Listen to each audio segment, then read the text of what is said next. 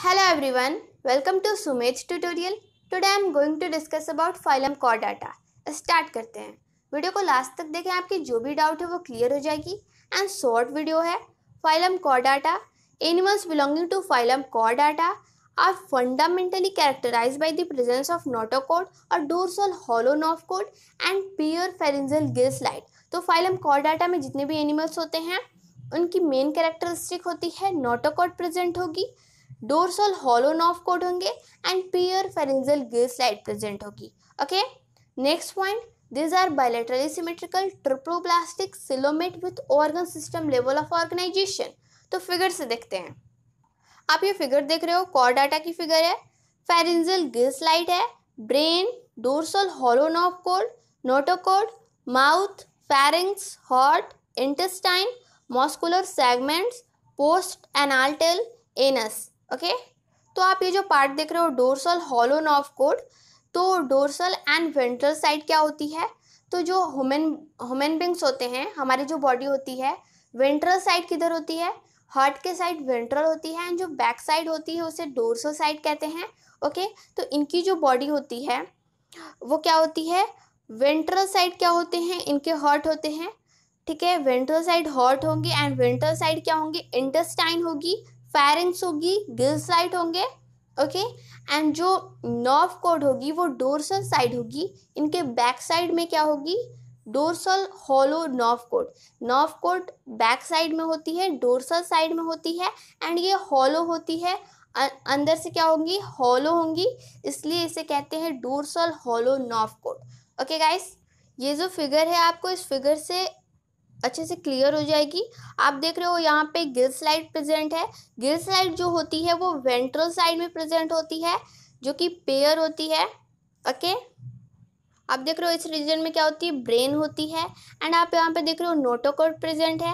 And यहाँ पे इनकी क्या होती है? टेल प्रेजेंट होती है। जो आप देख रहे हो लास्ट में क्या होती है? टेल प्रेजेंट होती है। इसीलिए इसे पोस्ट एंड आल टेल कहते हैं ओके एंड आप देख रहे हो हार्ट है। इंटेस्टाइन है एंड इस रीजन में क्या है? एनस है, okay?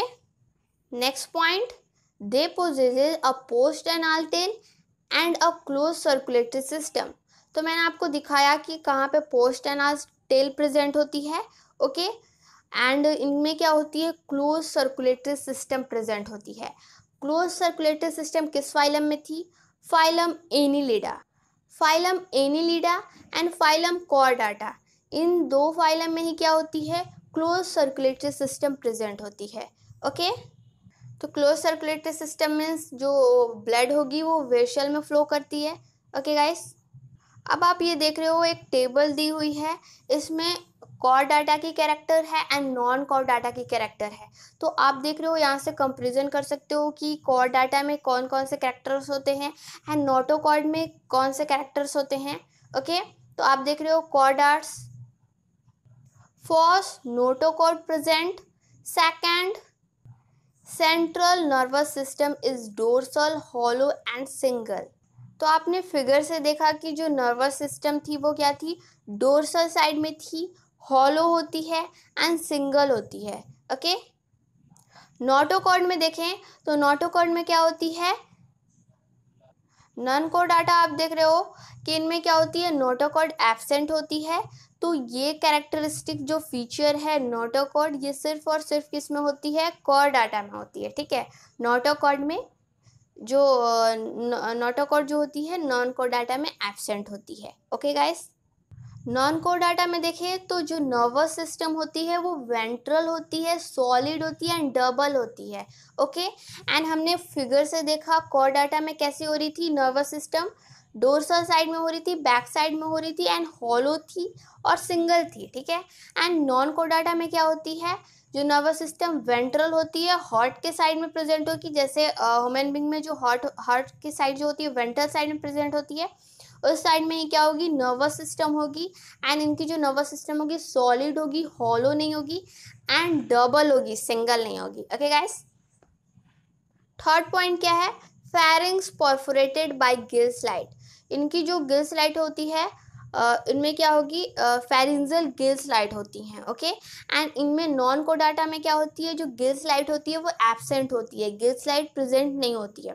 And fourth heart is ventral, and non कोडाटा में heart is dorsal, okay?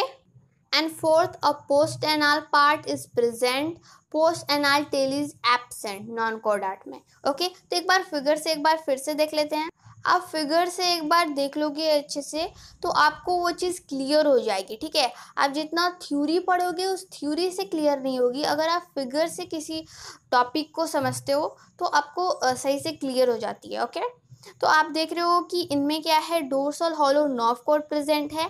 Dorsal side में प्रेजेंट होती है नॉफ कोड एंड नॉन कोडाटा में क्या थी? वेंट्रल साइड में प्रेजेंट होती है सॉलिड होती है एंड इनमें सिंगल होती है तो इनमें डबल होती है okay okay?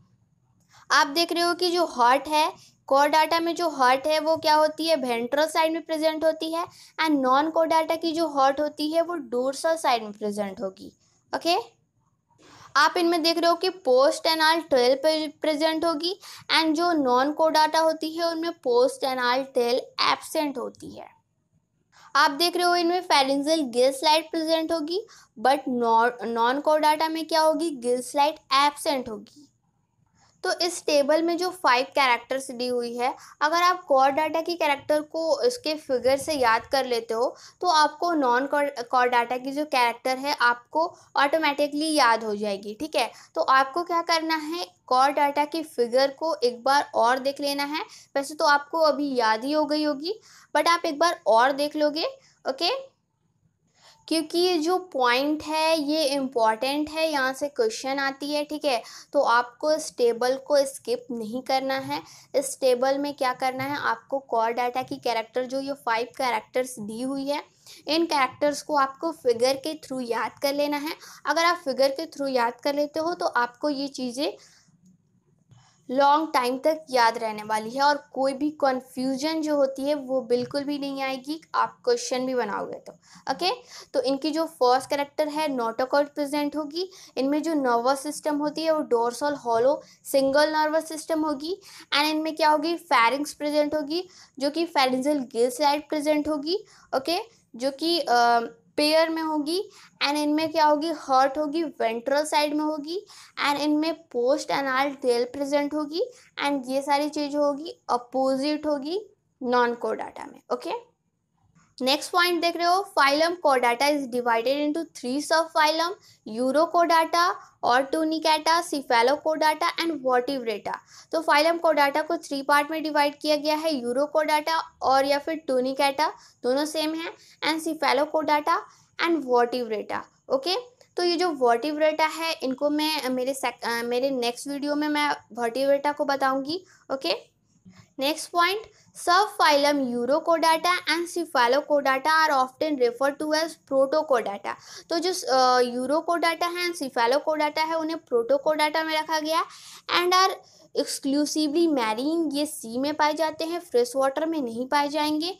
In urochordata notochord is present only in larval tail while in cephalochordata it extend from head to tail region and is present throughout their life urochordata में क्या होगी? जो नोटोकोड प्रेजेंट होगी, उनके tell में present होगी and larval stage में present होगी, उनके टेल में नोटोकोड एंड इन सिफेलोकोडाटा में क्या होगी?